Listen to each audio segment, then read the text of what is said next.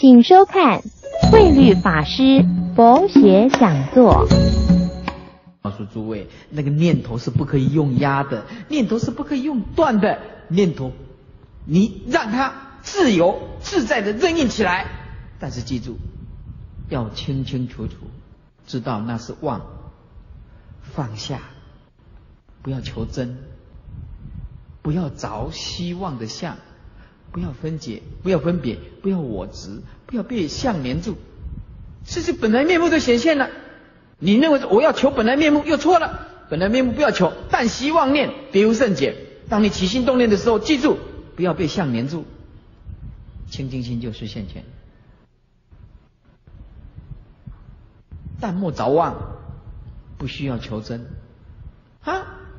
本来面目就是，所以这个念头啊是活的，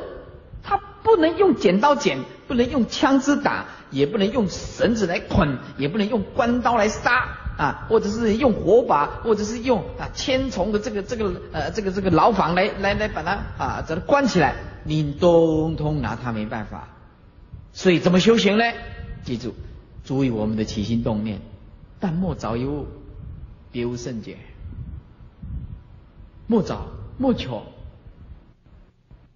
没有其他的，不是不是去求一个跑出一个清净心出来。这个已经偏离了正法，见一切相，知道那是相，就这样看，如如不动的看，清清楚楚的看，不求不找，与空相应，就这样子，洒脱自在，自自然然的妙性天然就显现出来。